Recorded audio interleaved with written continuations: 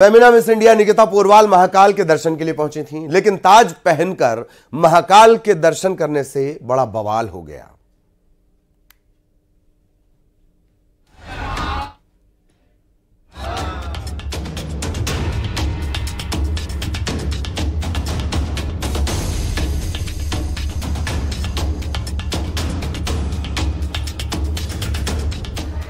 उज्जैन स्थित महाकाल मंदिर में ताज पहनकर दर्शन करने पर विवाद हो गया।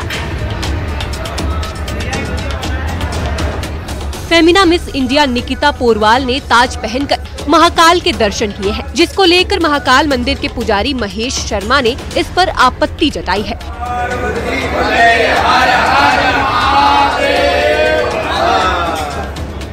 कहा कि भगवान महाकाल अवंतिका के राजा माने जाते हैं और उनके सामने किसी भी व्यक्ति को सिर पर पगड़ी, टोपी या ताज पहनकर जाने की अनुमति नहीं है, क्योंकि इससे मंदिर की मर्यादा का उल्लंघन होता है।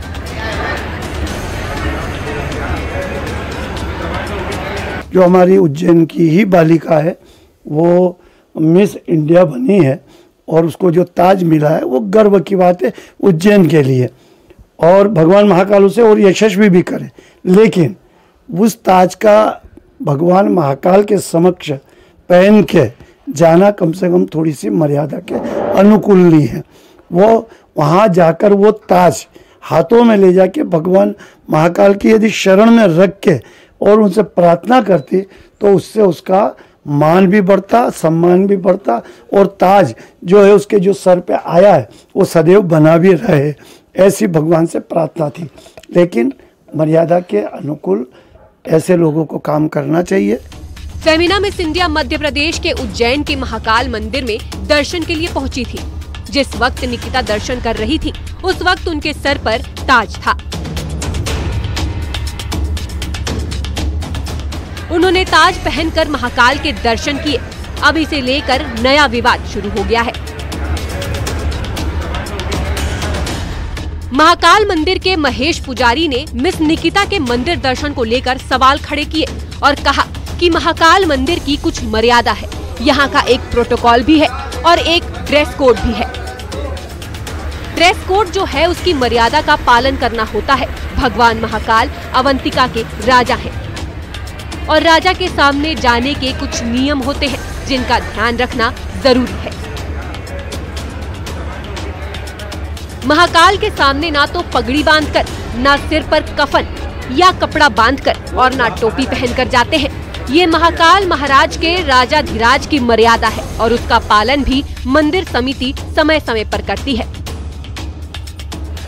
लेकिन जिस वक्त Femina Miss India Nikita Porwal दर्शन कर रही थी तो उन्होंने ताज पहना हुआ था, जिसको लेकर अब सोशल मीडिया में जमकर चर्चा हो रही है। कुछ लोग का कहना है कि हो सकता है Femina Miss India Nikita Porwal को इन नियमों के बारे में जानकारी न हो और वो अनजाने में ताज पहनकर दर्शन के लिए पहुँच गई। मैं यही कहना चाहूँगी कि महाकाल बाबा की वजह से आज मैं हूँ जो वो हूँ। मैं उनकी बेटी हूँ। तो मैं अपने पापा के सामने भी एक क्राउन पहन के गई उन्हें बताने के लिए कि देखो आपने जो मुझे बनाया, मैं आज वो हूँ। तो बाबा के सामने भी मैं क्राउन पहन के गई उन्हें दिखाने के लिए कि बाबा, आपकी बेटी कुछ करके आई है और मुझे पता है बाबा का पूरा आशीर्वाद मुझ पे है और वो वर्ल्ड का क्राउन भी मेरे सिर पे ऐसे ही बनाए रखेंगे। वहीं कुछ लोगों का कहना है कि निकिता को भगवान महाकाल के दर्शन के पहले नियमों के बारे में पता होना चाहिए था और उन्हें माफ़ी मांगनी चाहिए। हकीकत चाहे जो हो, लेकिन सोशल मीडिया में ये वीडियो तेज़ी से वायरल हो रहा है और लोग इस पर खूब चर्चा कर रहे हैं। ब्यूरो रिपोर्ट, न्यूज़ 18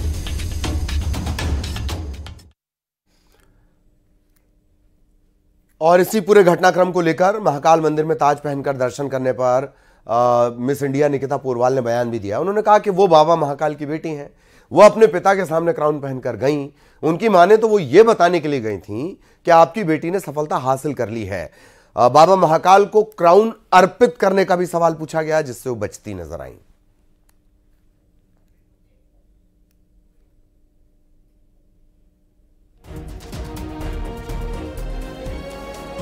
तो ऐसे ही बनाए रखेंगे। बाबा काय बाबा काय चाहिए मेन मैं यही कहना चाहूँगी कि महाकाल बाबा की वजह से आज मैं हूँ जो वो हूँ। मैं उनकी बेटी हूँ। तो मैं अपने पापा के सामने भी एक क्राउन पहन के गई उन्हें बताने के लिए कि देखो आपने जो मुझे बनाया, मैं आज वो हूँ। तो बाबा के सामने भी मैं क्राउन पहन के गई, उन्हें दिखाने के लिए कि बाबा, आपकी बेटी कुछ करके आई है और मुझे पता है बाबा का पूरा आशीर्वाद मुझ पर है और वो वर्ल्ड का क्राउन भी मेरे सिर पे ऐसे ही बनाए रखेंगे।